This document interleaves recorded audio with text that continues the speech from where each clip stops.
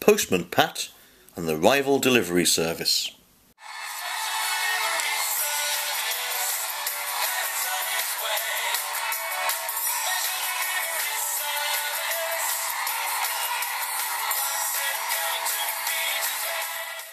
Hello there, my name is Postman Pat, and this is the story of the time a rival courier company was set up in competition with a special delivery service, and how I used my insider knowledge of correlation and regression to study the threat.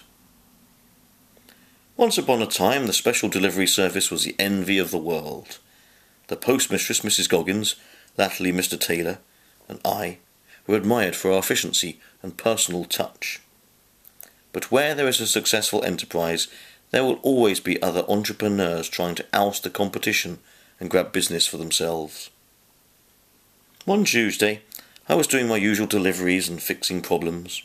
I fixed the guttering at the police station for PC Selby and rugby tackled an assailant running out of Michael Lamb's mobile shop. On my return to the sorting office, I could see that Mr. Taylor had bad news for me. Don't let my smiley disposition fool you, Pat.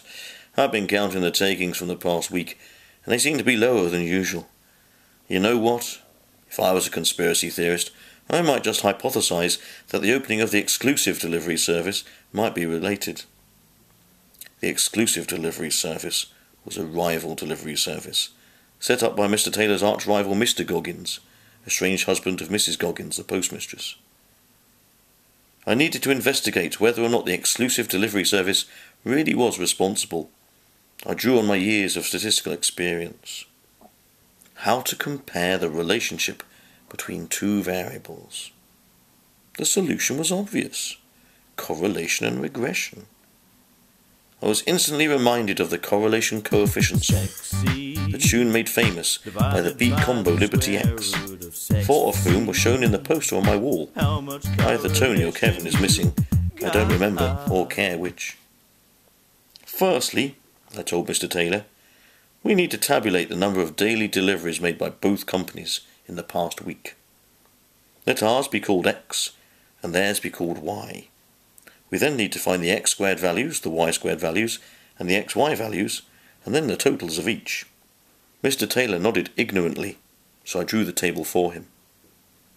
Then we use the formula shown where Sxy is this and Sxx is that, etc., and n is the number of pairs of values.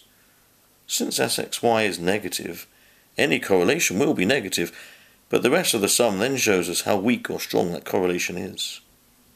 Ah, a PMCC of minus 0.829 is strong negative correlation, indicating that when EDS has a high number of deliveries, we have a low number, and vice versa. What also might be quite insightful would be the equation of the regression line. Mr. Taylor shrugged his shoulders in awe. The regression line equation is y equals a plus bx, where a is the y-intercept and b is the gradient. You start by finding the value of b by dividing your value of sex into sexy.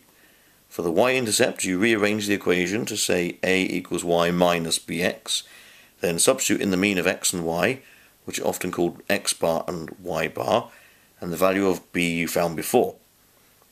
I looked across the room, and Mr. Taylor was drifting in and out of consciousness. Wake up, Mr. Taylor, I shouted. This is where it gets interesting. The expression on Mr. Taylor's face suggested he didn't believe me. The correlation coefficient confirms your suspicions, Mr. Taylor, but the regression line equation tells us the extent of the problem. For every delivery we lose, they gain 0.737 deliveries, and if we didn't have any deliveries, they would have 13.16. This analysis was all Mr. Taylor needed to arrest his slumber. Now we had evidence. He ordered me out of the sorting office immediately to put into effect any necessary measures to ensure the survival of the special delivery service. I'm not proud to say that after a few flat tyres and a detour into the lake, the exclusive delivery service was no longer a competitor.